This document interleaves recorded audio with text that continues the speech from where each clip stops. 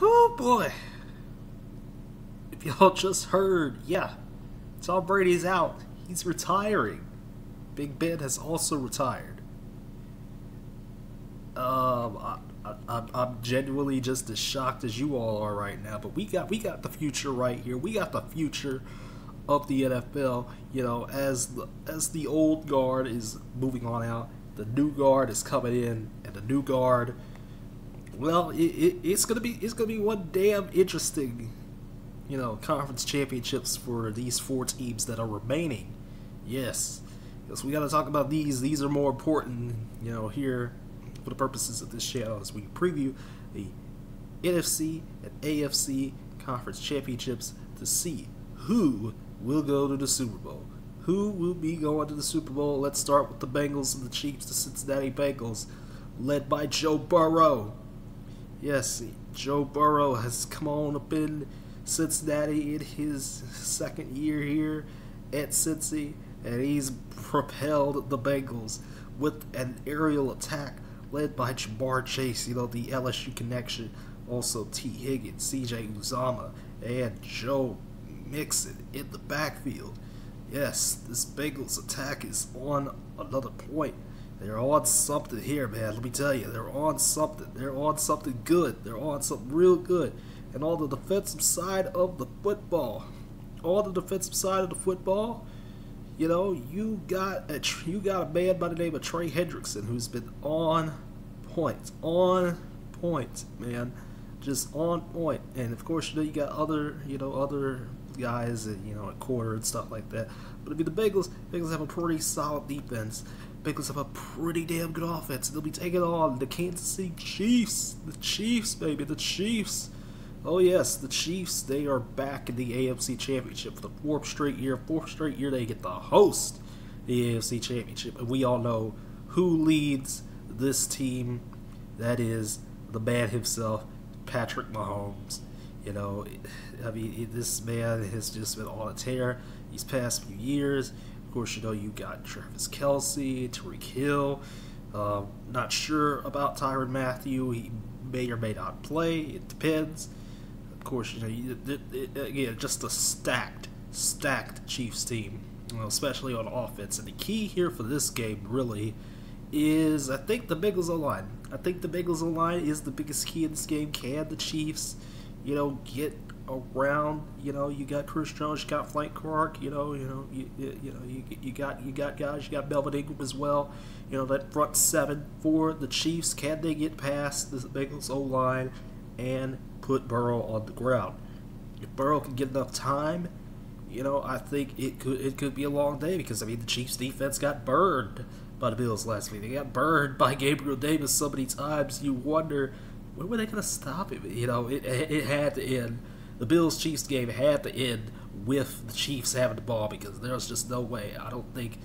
I, I just don't think that the Chiefs defense will held up. And again, the, the status of Tyrann Mathieu's up in the air. Uh, I'm not sure because he went out with an injury last week. I forgot to t- I forgot to say something about that last week, but went out with an injury. Not sure what his status is. I'm not. Uh, I'm unsure, you know, about this Chiefs defense at times because I mean that that's really the bigger. That's that's also the biggest question for, me is you know what the Chiefs defense is going to do in this game. Because I mean, we know our own company. We know they can get it downfield. We know they can get it downfield and do as much damage as they want to do. You know, so that's going to be really intriguing there.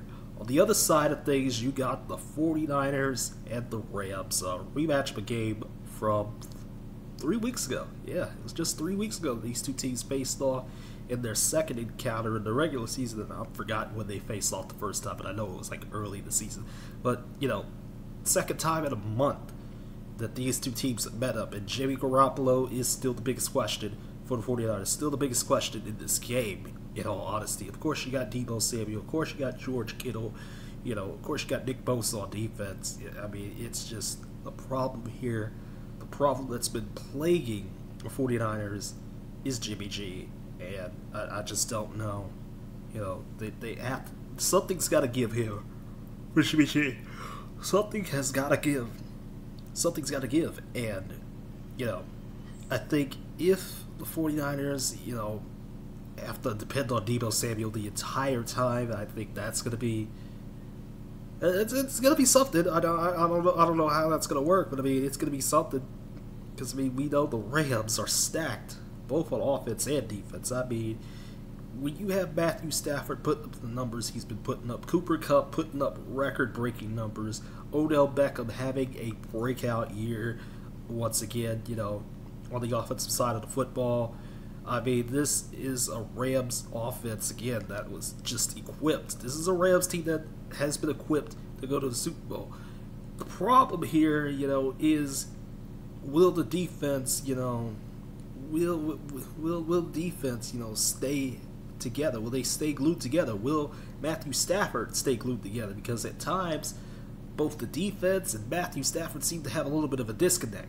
And you know, with, I mean, this is a damn good defense. I mean, again, they just added Eric Weddle. The Rams did. They they have Von Miller. They have Aaron Donald.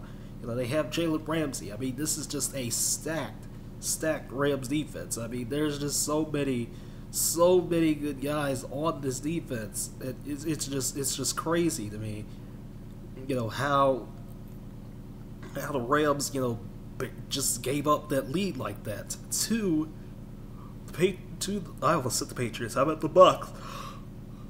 The Bucs last week, not the Patriots. I don't know why I said the Patriots for a second there, but you know, again, this this this Rams team again, it's just it's just a stacked stacked unit. I mean, it's it's all over the place. I mean, they, they got they got so many weapons. I mean, they got so many damn good weapons. It's just crazy. You know, also Tyler Higbee as well on the offense. Got to look out for him, man. Got to look out for him as well.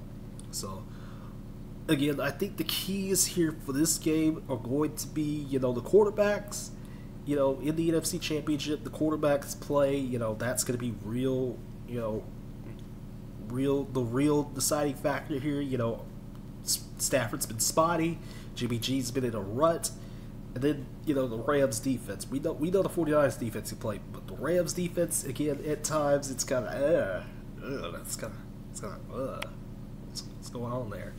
So you know that's really it as far as you know what these matchups are going to you know go.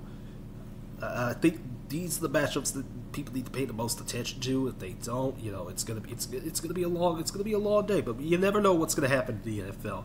You know, a lot of people are trying to you know compare the NFL to like a scripted drama. Oh no, this ain't no script, baby. This ain't no script.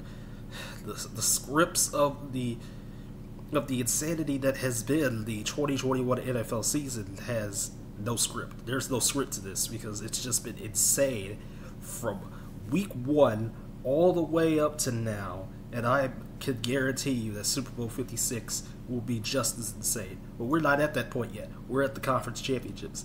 And, you know, who are you picking to win in the conference championships? I'm going to, you know, I'm just going to say it right now. I'm not going to make any predictions just yet. I'm gonna wait till the Super Bowl. I'm gonna wait till the Super Bowl to make my prediction. I know, I know, I know. I'm actually, I'm actually terrible at this. You know, I always say predictions in the video, but I mean, you know, I don't actually make any predictions. So, you know, I'm just gonna say my piece here, and you know, let y'all figure out.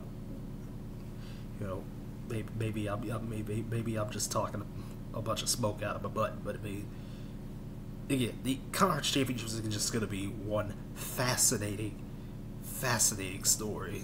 Uh, I said fascinating twice, but you know, these two games are going to determine who will be going to the Super Bowl. I mean, there's there's there's so many different combinations of what kind of Super Bowl matchup we can get, and all of them are intriguing. So, may the best four teams, you know, go on ahead no, wait, this is not college football.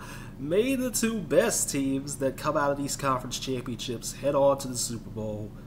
And, you know, for now, let's do this. Let's get these conference championships ready to go. Because I'm ready, but are you ready? Because, I mean, if you're not ready, you, you should be. Because, I mean, come on. These are going to be two damn good games. I guarantee you that.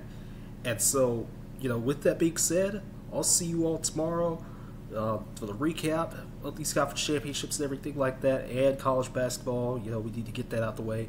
So, like, share, comment, subscribe, do all the good stuff, and I'll see you tomorrow.